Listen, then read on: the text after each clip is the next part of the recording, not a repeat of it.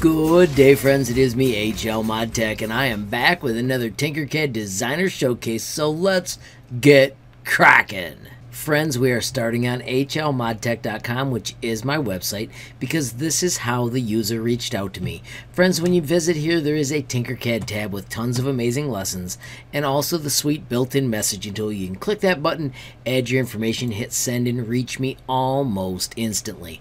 If you're interested in a shout-out, though, I have this section down here with the design nuclear reactor, and you can watch this video to get the steps, and then you can use this form to request a shout-out, and that's exactly exactly what this designer did.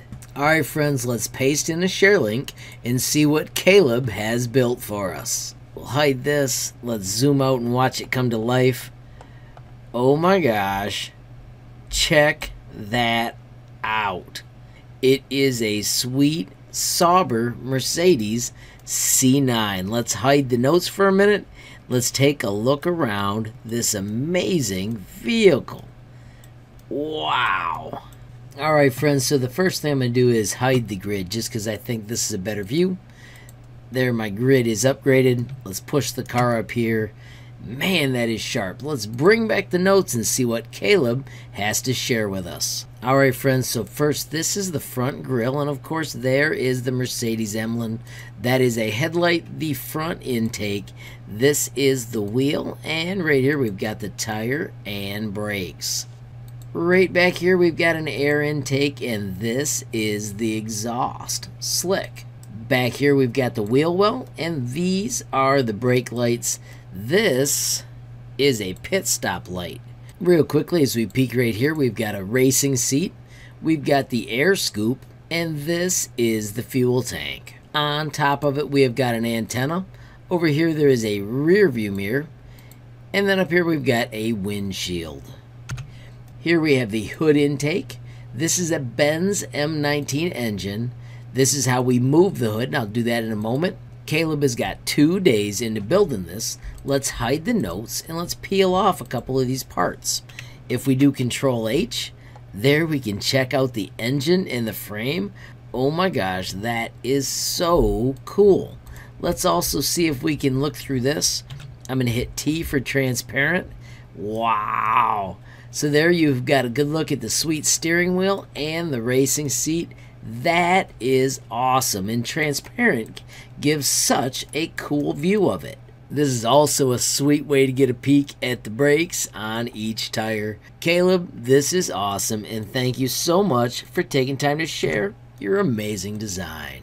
Friends, remember if you ever make something awesome and want to share it with me, it is so simple. You can click this button right here, generate a link, copy that link, and then you can reach out and share it with me. I am HL Mod Tech on Facebook, Instagram, and Gmail. You can also track me down on Twitter. I am HL Tinkercad. If you find this design in the public gallery, you'll notice that it has all the tips. And if you check the properties, it also has videos that shows you how to get a hold of me as well. And of course, friends, if that doesn't work, don't forget you can always visit hlmodtech.com. It is my website. I have the page dedicated to Tinkercad with tons of amazing lessons.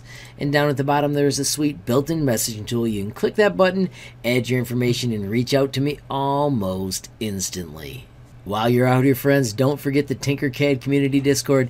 It is a fantastic place to talk everything Tinkercad, and we're super close to having our 150th user.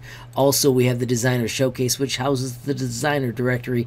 Tons of amazing designers have shared their profile with me, including Sus. When you click on any designer friends, check out their amazing creations.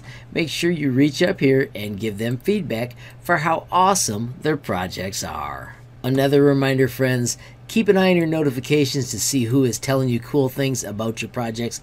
And friends, if you ever want to share your profile with me, it is so simple. When you click on your name, you can go up here and you can copy that profile and then shoot me a note asking me to add you to the designer directory as well.